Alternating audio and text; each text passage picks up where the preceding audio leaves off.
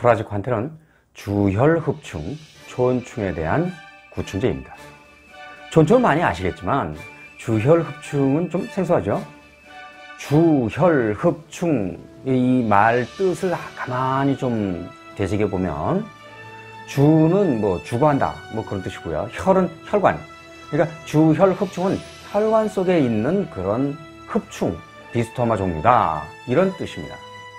자 그런데 프라지콴텔이 이런 구충제로서 항암성이 있다는 얘기입니다. 궁금하시면 영상을 계속 봐주세요. 프라지콴텔은 촌충과 주혈 흡충에 대한 구충제입니다. 촌충은 많이 아실 것 같고 앞에서 잠깐 소개를 했지만요. 주혈 흡충은 솔직히 말씀드리면 아마 익숙지 않을 겁니다. 저도 사실은 이번 자료조사 과정에서 아, 알게 되었거든요. 길이가 1 내지 2cm짜리 아주 작은 기생충입니다. 그런데 흡반을 두 개 가지고 있다고 하고 디스토마 종류다 이렇게 보시면 되겠습니다. 포유류하고 조류의 혈관 내에 기생하는 기생충인데 야, 대표적인 인체 기생충입니다. 주혈 흡충에서 주는 앞에서도 뭐 어, 언급하는 바가 있죠. 주는 죽어, 거주한다 뭐 그런 뜻이고요. 혈은 혈관, 그러니까 주혈 그러면 혈관 속에 거주하는 뭐 그런 의미가 되죠. 혈관 속에 이제 기생한다는 얘기일 텐데 그런 흡충 종류입니다. 여담을 잠깐 한번 해보겠습니다. 이렇게 질병이 작용하는 원리를 설명하는 것은 질병에 대한 이해를 높일 수 있고요. 질병에 대한 이해가 높아진다면 그 질병을 좀 더 유연하게 아, 대처할 수 있겠다. 질병을 치료하는데 이런 생각을 하고 있습니다. 또한 과학적인 원리가 무엇인지를 파악하고 있으면 잘 이해가 있으면 어, 환자나 그 질병을 대하는 가족의 태도도 훨씬 더 어, 치료에 도움이 되겠다 이런 생각을 가지고 있기 때문입니다. 프라지관테는 기생충의 세포막에 대한 칼슘 이온의 투과성 이것을 증가시킨다고 합니다. 자 그러면 우리 칼슘 이온에 대해서 소개한 바가 있는데요. 칼슘 이온은 수출 유도한다고 했죠. 이 세포막 투과로 인해서 기생충의 칼슘 이온 투과가 증가하면 계속 수축이 될 겁니다. 자 이렇게 어떻게 될까요? 기생충이 결국 그 수축으로 인해서 마비가 될 것입니다. 계속 마비가 되면서 이것으로부터 이 기생충의 구제, 구충 작용을 하는 거다. 뭐 이렇게 판단할 수 있겠습니다. 파클리 탁셀이라는 항암제가 있습니다. 파클리 탁셀은 앞에서도 소개한 바가 있는데 마이크로튜브를 생성을 억제하는 그런 효능이 있습니다. 자, 이 관련 영상 내용은 카드로 위쪽에 띄워드리겠습니다. 자, 그런데 파클리탁셀이 가지는 내성 문제, 그리고 심각한 부작용 문제, 이거 언급하지 않을 수가 없겠네요. 내성 때문에 약효가 떨어지는 이런 문제도 있고 심각한 부작용이 있는데 그 심각한 부작용을 한번 소개해 보기로 하겠습니다. 심각한 부작용의 예를 들자면 혈구수가 감소하기 때문에 혈구수가 감소하면 당연히 감염 위험성이 높아지겠죠. 그리고 빈혈, 출혈 이런 위험성이 높아지는 거 뭐 이런 게 있습니다. 자, 그 다음에 탈모, 관절통, 근육통 뭐 이런 것들 있고요. 구토, 메스꺼움 이런 것들 자 그리고 안면 홍조, 두드러기, 오한, 호흡곤란 이런 게 있습니다. 자 이거 열거한 것만 몇 가지 살펴봐도 어, 이 부작용 증세가 만만치 않구나 그런 거 알 수 있겠죠.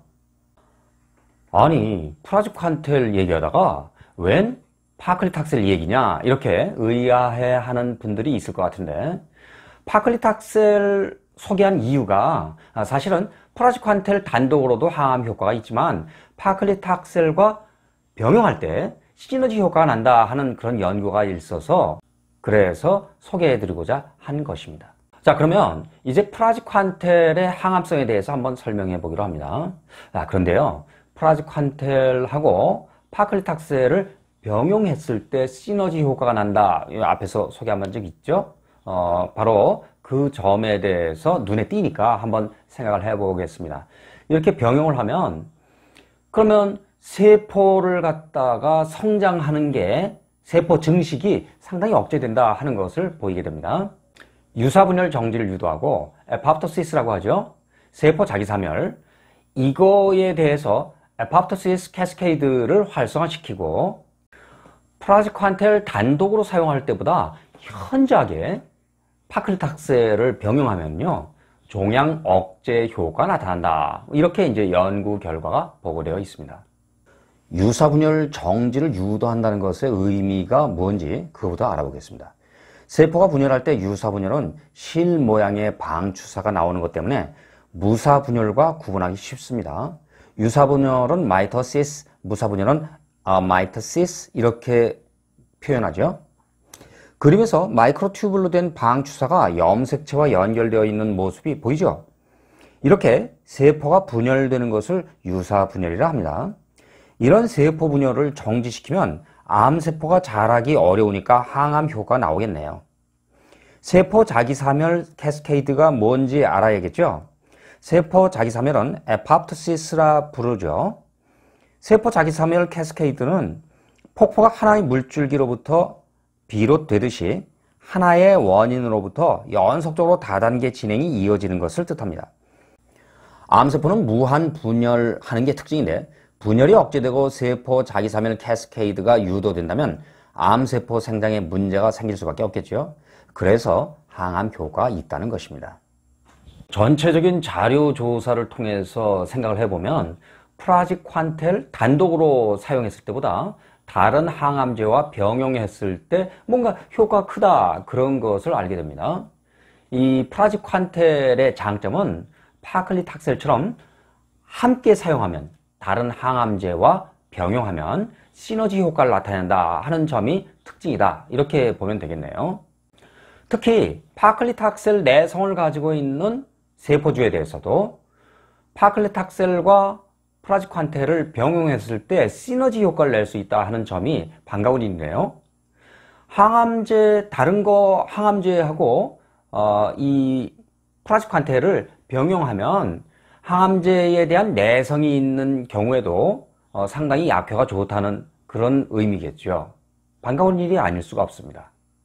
KNL은 여러분과 여러분 가족의 건강을 위해 노력하는 여러분을 응원합니다. KNL은 여러분과 여러분 가족의 건강을 위해 좋은 정보, 과학적으로 검증된 정보 이런 것들을 알려드리기 위해서 최선을 다하겠습니다. 이 영상이 마음에 드신다면 주변에 널리 좀 알려주시고요. 구독, 좋아요, 알림 설정까지 부탁드리겠습니다. 이 영상은 여기까지입니다.